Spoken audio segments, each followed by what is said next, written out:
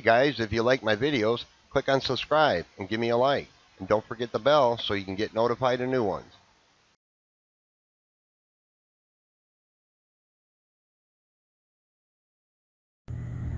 Hey guys, how's it going? Dale here.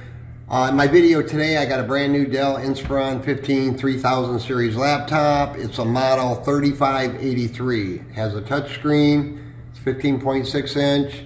Uh, has all the basic features, no optical drive, of course. Got SD card slot, USB port. On that side, over on this side, got a headphone jack, two more USB ports, Ethernet port, HDMI, of course your power cord. So for this customer, they wanted me to do a little upgrading on it. Um, it's brand new, I just took it out of the box but it comes with 128 gigabyte NVMe SSD and 8 gigabytes of DDR4. But I'm going to, I know in these models, I believe there's a two and a half inch expansion bay inside to add a second mechanical hard drive in addition to the SSD. So I'm going to put this in to give them more storage. It's a one terabyte Western Digital drive. And I'm going to take out the 2242 M.2 drive that's in here and put a 2280 250 gigabyte NVMe drive in it. Beef it up a little bit for them. So it's a pretty simple little upgrade. The bottom pan comes off. I've already moved all the screws. They want to bore you with that. There, one thing I want to point out though is there's different size screws, these Dells. This, this screw right here is one size. These three screws along the back here are one size and the rest of these other screws are a different size. So make sure you put the right screws back in the right hole so nothing pokes through. So I've already done that. I'm going to go ahead and open it up. On this one, it's actually easier if we start with it turned up like this because what we're going to do is go take my little spudger tool here, something very thin. We're going to get into the seam right here along the front.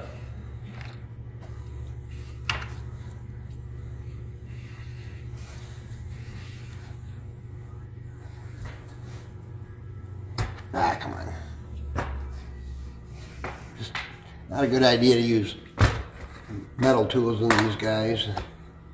Once you get it started here, there, now we can do this and flip it over. It's generally pop off pretty simple. Don't be reefing on it too hard. It's kind of what I call jiggle it. There we go, just like that. So now, before we do anything, I'm going to get in, I'm going to go inside here and disconnect the battery. We, don't want to be dropping any of this metal stuff onto your motherboard while there's power going to it. So right here is the battery connector. It, it actually removes, you could unplug it from the motherboard, but I'm just going to go ahead and unplug it right from the battery here. Either or, it don't, however you want to do it, because this on this one, it just pulls right out. It's pretty simple, just like that. So now we got the battery disconnected. Then I'm going to remove the little protective shield over your M.2 bay right here. There's two screws, one here, one here.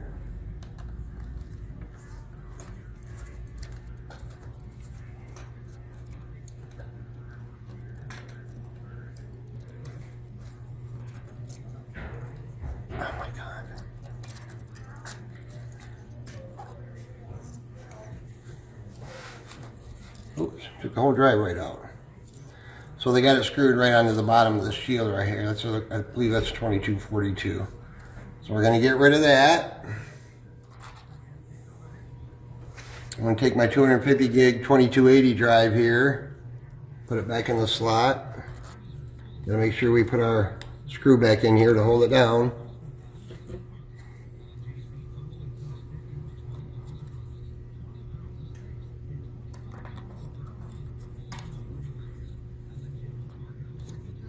By the way, I'm going to do a clean install of Windows 10 on this, just using the flash drive that you can create with the Windows Media Creation tool. I have videos on how to do that. So, um, so we got the new drive in, the M.2 SSD. Now we're going to put the new 8 gig stick of RAM in here in addition to the 8 gig it has from the factory.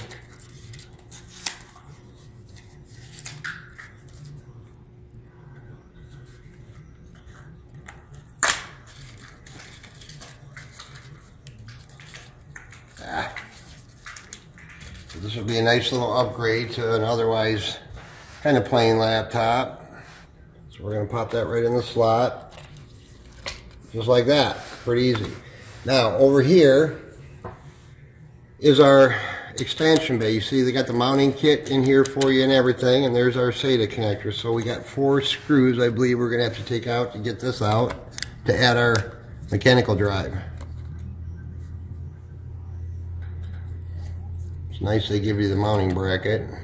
Now you could put a solid state two and a half inch drive in here, any any size you want really. You can make this your boot drive. You're better off with the NVMe drive though. Again, that can be any size over there. Get this little, little guy out here. And underneath, less their little hearts, they give you four mounting screws with the hard drive in here. Those out of there. Great deal. Ah.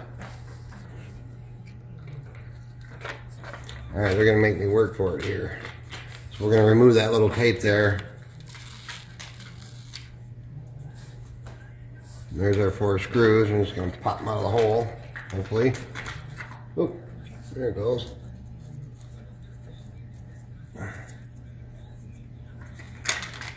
Just doing this in real time, guys, so you can see that this isn't that difficult of an upgrade. So here's our drive. You gotta make sure you put it in the right way. It's gonna go bottoms up, basically. Yeah, got all my tools. Get rid of the tape here. So it's gonna go in just like that.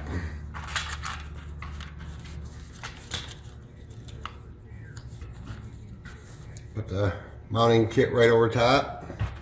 For this, I'm going to use my cordless, because I just like to use my cordless. And drop my screws. It's alright, I got extras.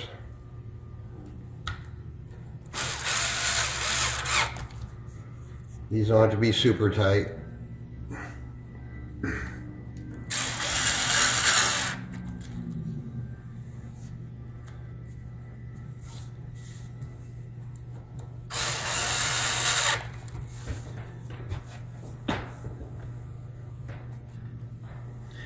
Alright, bear with me guys, I dropped a screw. I ain't got time to look for it, so I'm just gonna go into my Santa Claus box here and snag another one.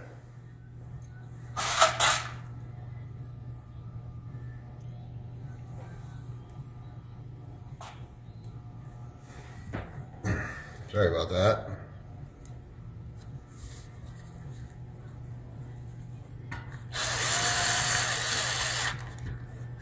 Alright.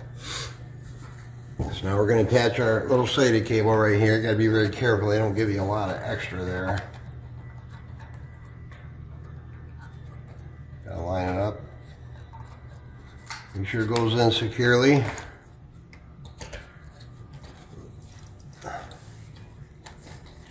Our caddy back in there. Looks like we're good. Secure this back down. When you're all done, don't forget to hook your battery back up. Button it all back up. Do a clean install. You'll have a 250 gig NVMe drive plus a one terabyte storage drive to put whatever you want on it.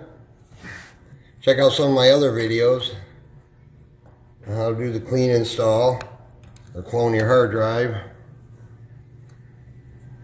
Don't forget to subscribe. Please.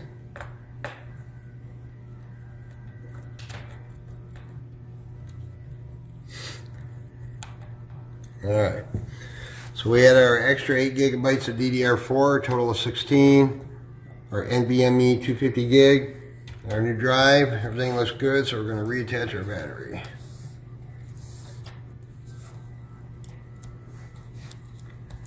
Make sure it's in. Cover back on. Just wanted to show you how on this particular model you can do quite a bit of little little work to do a nice little upgrade. Snap this all back on. Of course, put your screws back. And like I said, you got three different length screws. You got one length here, one length in these three holes, and these other ones are one another length. So